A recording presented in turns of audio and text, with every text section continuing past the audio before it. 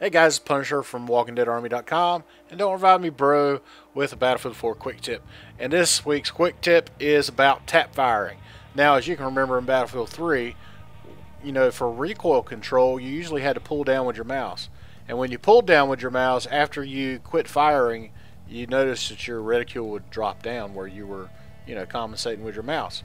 Well, Battlefield 4, you don't have to do that because when you fire, it's in the same spot you don't have to do the compensation like you were doing before. So instead of burst firing to control recoil and to compensate, you can tap fire, and this is how you do it.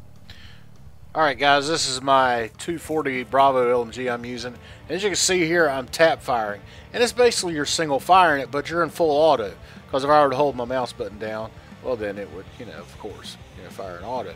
But what you do is what I do, because I use a claw type grip on my mouse. A lot of you know guys use this claw grip, and that enables you to quick fire your left uh, mouse button, and you know, and it won't fire you know multiple bursts. Instead, it'll do this real rapid single fire.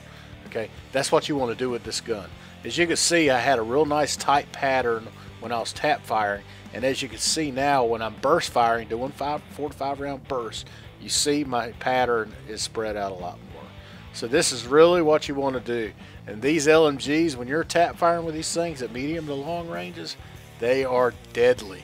Okay, up close you still want to do the full auto, you know, because you'll still be able to hit the guys pretty easy. But when you're at medium long range distances, this tap fire is the way to go.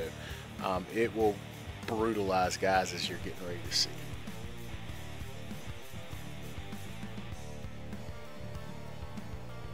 And that's it, guys. So get out there and master that tap fire. Use them with those high recoil guns and those you know, those LMGs, man. The support class with those guns, gosh, it's a beast. So I hope you enjoyed it, guys. If you did like it, please subscribe to the channel. Give me the thumbs up, and you know, share the video. Uh, that's what it's there for. I want to try to help out you know people as much as I can. So anyway, guys, we will see you later, and uh, y'all be good.